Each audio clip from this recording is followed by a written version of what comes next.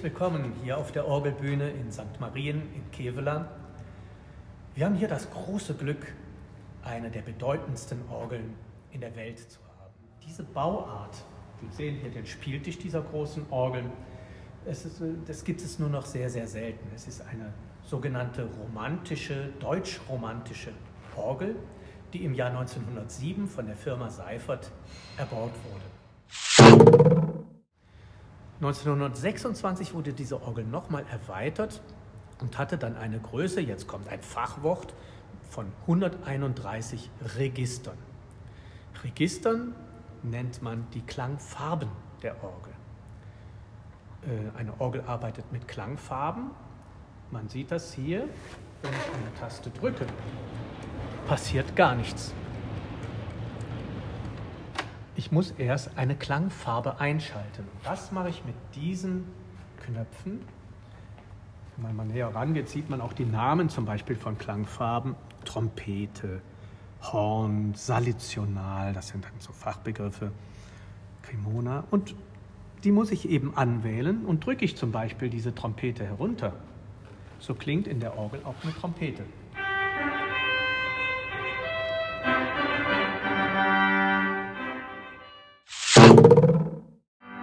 Ja, und so eine Trompete klingt natürlich komplett anders als eine Flöte. Wenn ich die einschalte, klingt das so.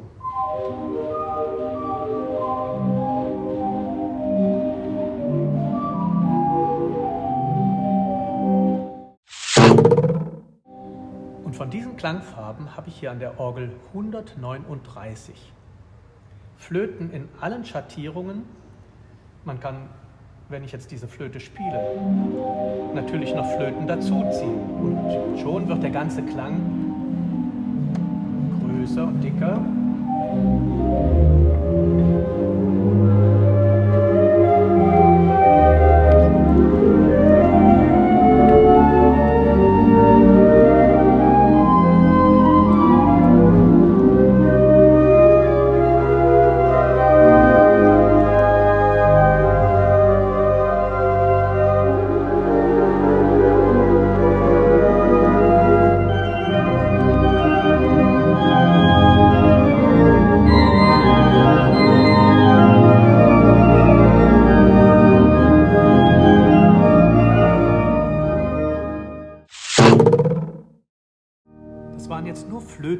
Flötenregister. Ähm, und ich glaube, man hat schon gemerkt, dass, deshalb habe ich auch eben von Klangfarben geredet, dass wir als Organisten auch Maler sind, die diese Klangfarben mischen müssen. Drücke ich zum Beispiel eine Farbe, habe ich natürlich nur eine Pfeife, die klingt. Jetzt kann man bewusst hören, wenn ich eine Farbe dazu nehme, dass zwei Pfeifen klingen.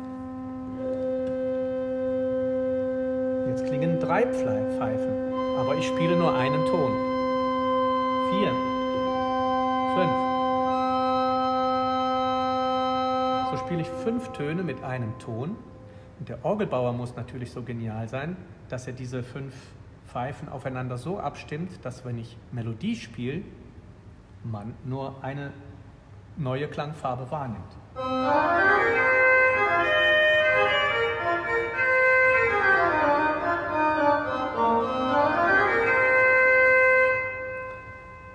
Und jetzt sind wir auch schon so weit, dass wir darstellen können, warum wir hier verschiedene Ebenen haben. Man nennt das Manuale.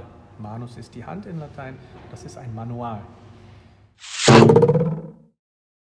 Ich habe jetzt eine Melodie gespielt, aber Musik besteht ja noch aus ganz, ganz vielen Sachen. Nicht nur aus Melodie, sondern zum Beispiel auch aus Harmonie. Wenn ich die Melodie hier spiele, kann ich die Harmonie hier machen.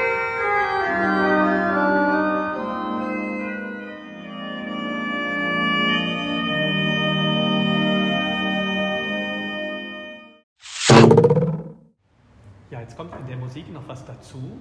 Zu der Begleitung, zu der Melodie kommt jetzt der Bass. Und den mache ich in der Orgel oder bei der Orgel mit den Füßen. Dazu kann ich ganz tiefe, ich darf ja dieses Frankfurt-Register jetzt sagen, wir haben das schon gelernt, tiefe Register einschalten, die ungefähr so klingen.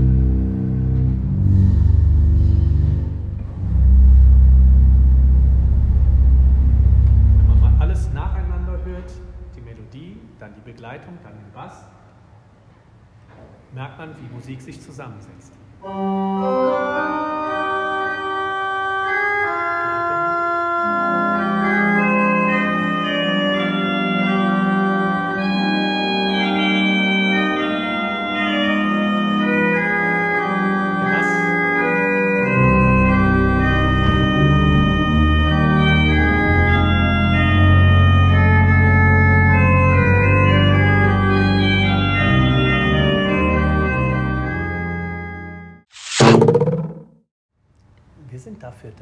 Kirchenmusiker die Stimmung, die in der Kirche gerade ist, zu verstärken. Das kann man im weitesten Sinne vergleichen mit der Filmmusik.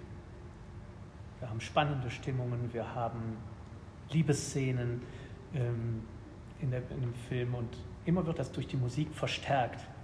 Stelle man sich ein, eine Liebesszene ohne Musik vor, ohne die Geigen. Ähm, so ist das ja im Kirchenjahr genauso. Es gibt so viele Stimmungen. Wenn ich nur an Advent denke, spiele ich natürlich ganz anders als Weihnachten. In der Fastenzeit nochmal anders, Passionszeit nochmal anders. Äh, dann Ostern kommt die ganze Orgel zur Geltung.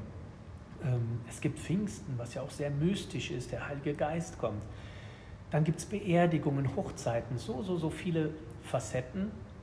Und ähm, ich erfreue mich daran oder versuche es die Texte, die daran, darin gelesen werden und, und äh, gezeigt werden und die Art, ähm, wie dann Liturgie gestaltet wird, in dieser Stimmung oder diese Stimmung dann aufzufangen mit der Orgel. Und das kann man mit dieser Orgel fantastisch.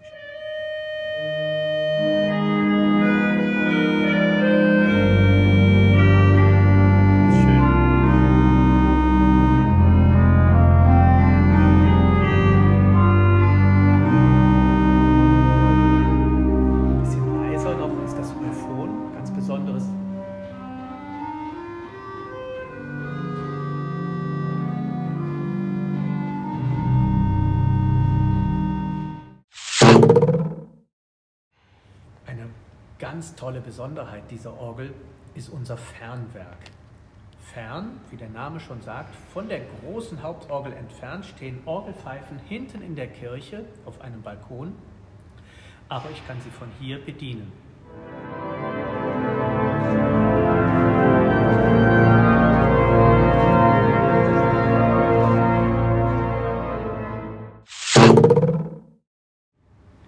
Niemand redete 1907 von Stereo. Aber in Kevlar konnte man es erleben. Ich kann mir nur vorstellen, dass den Leuten es heiß und kalt den Rücken runtergegangen ist, die ja mit der Musik einfach äh, nicht lebten, wie wir heutzutage. Wir sind ja sehr musikverseucht, weil überall dudelt es, man kommt ins Kaufhaus, dudel, dudel, dudel, dudel. Und äh, die Leute damals, die haben in der Kirche die Musik gehört.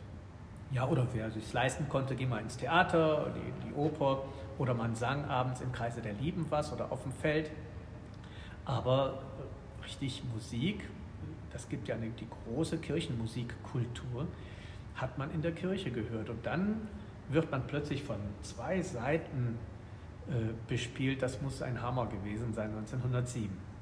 Leider wurde dieses Fernwerk, ich erwähnte es eben schon, im Krieg komplett zerstört. Das wurde auch nicht wieder aufgebaut damals und ist erst im Jahr 2004 rekonstruiert worden also gar nicht so lange her.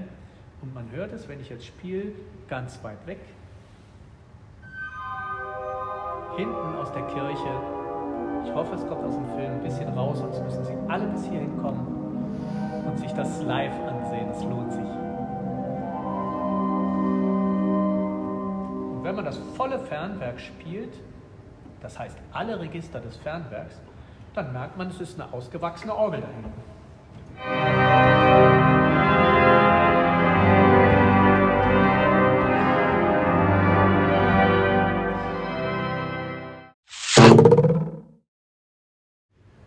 Und zwar äh, gab es eine Orgelbewegung. Nach dem Krieg waren diese romantischen Orgeln sehr, sehr verpönt. Und die wurden alle abgebaut, als wieder Geld da war, 50er, 60er Jahre.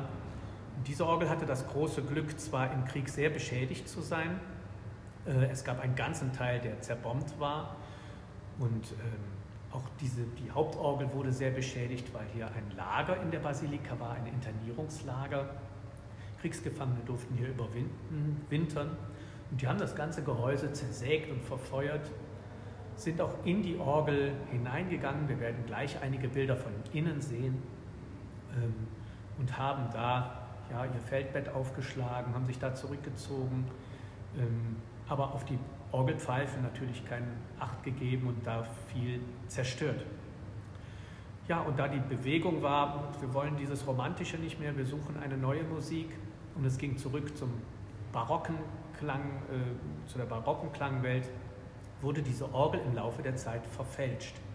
Und auch dieses Euphon, wo ich gerade so von schwärmte, wurde ausgebaut aus der Orgel und ist erst jetzt, 2008, oh jetzt ist auch schon wieder zwölf Jahre her, ähm, wieder entdeckt worden, oben auf dem Speicher bei der Firma Seifert. Und ich habe mich so gefreut. Ähm, der Basilika-Chor hat dann gesammelt und wir haben eine Stiftung der, für die Heimatpflege von der Volksbank. Und die haben sich dann ins Zeug gelegt, dass dieses wunderschöne Euphon wieder eingebaut werden kann.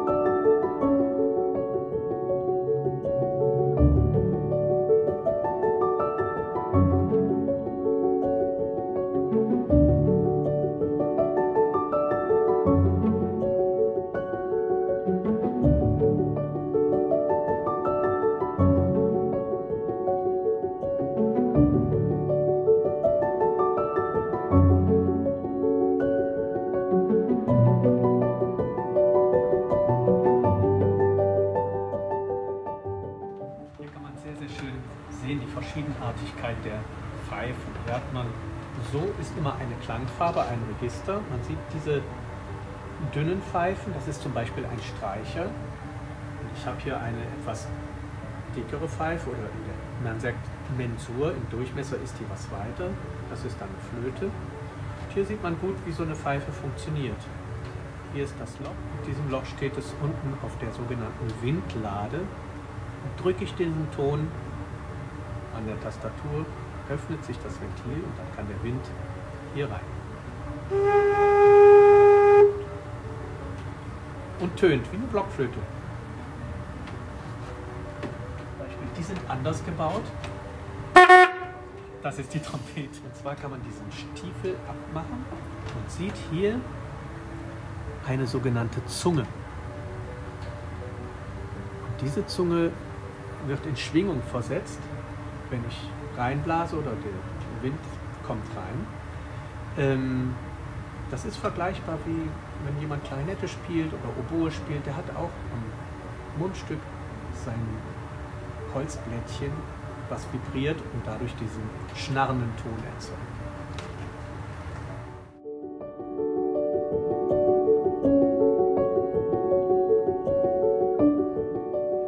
Diese Trompeten sind zum Papstbesuch reingekommen. Die sind also nicht original von der Orgel, aber so toll, dass man die nicht ausbaut aus historischen Zwecken. Die sind 87 zum Papstbesuch eingebaut worden.